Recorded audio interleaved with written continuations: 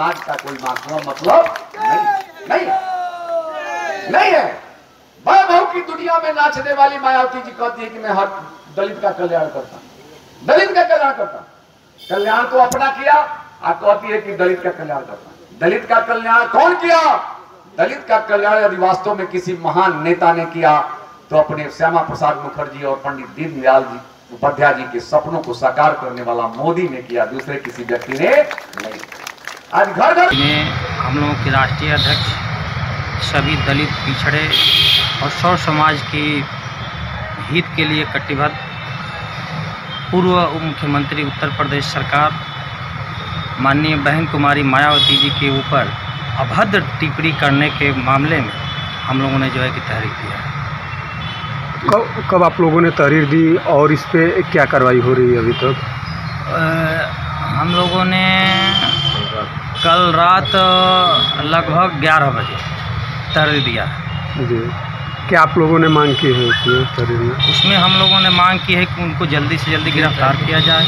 जल्दी से जल्दी उनको कड़ी से कड़ी जो है कार्रवाई की जाए। सरकार से हम लोग मांग करते हैं कि उनको तुरंत जो है कि बर्खास्त किया जाए।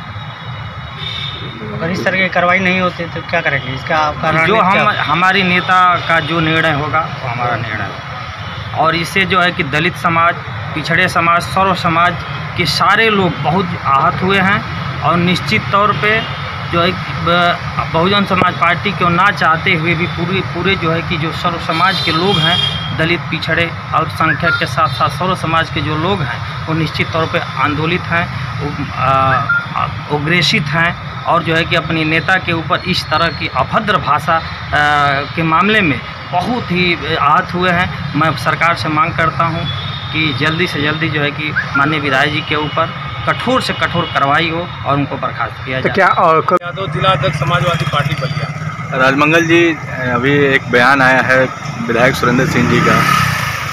उस पर क्या कहेंगे आप समाजवादी पार्टी के नेता? सुरेंद्र सिंह जी का बयान जो बैरिया से विधायक है उनका कोई असर नहीं है। वो बयान बहादुर है। उनको हर चीज़ में वो बयान देते रहते हैं। मैंने बहुत पहले ही उनका कोई स्तर नहीं है। वो स्तर विहीन व्यक्ति है। पूरे प्रदेश की राजनीति में वैसा स्तर विहीन एम एल मैंने कभी जीवन में नहीं, देखा और आगे भी कोई नहीं देख सकता।